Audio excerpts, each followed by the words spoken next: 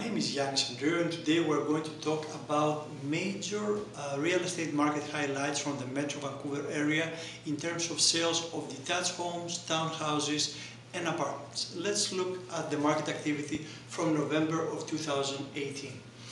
Uh, the benchmark price for detached homes was 1,500,100. There were 5,787 listings and 516 sales. 55 days on the average on the market before they sold.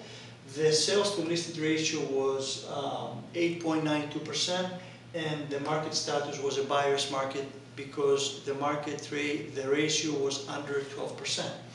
In terms of townhouses, the benchmark was 818,500. We had 1,918 listings, 282 sales, 40 days on the average on the market, and the sales to listed ratio was 14.7%, which resulted into a balanced market.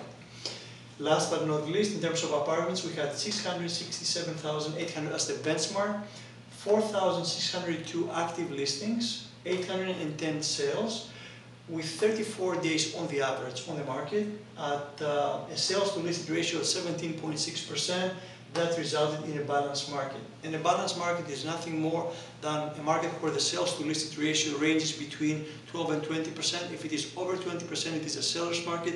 If it is under 20%, it under 12%, um, it is a buyer's market, which is the case with detached homes.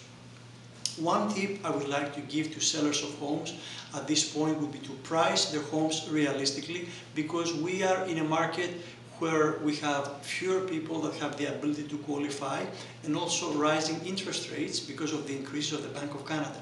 So the best advice I can give you is to price your home realistically based on the sales of comparable homes in the last 45 days and please listen to the advice of your realtor that will give you uh, realistic advice because if you overprice your home you shouldn't expect it uh, to sell because buyers are very well aware of what is happening in the market over the last 30 to 45 days because they use the help of a buyer's realtor. If you have any questions, feel free to give me a call at 778-859-7195 or you can send me a text message. Thank you. Have a wonderful day.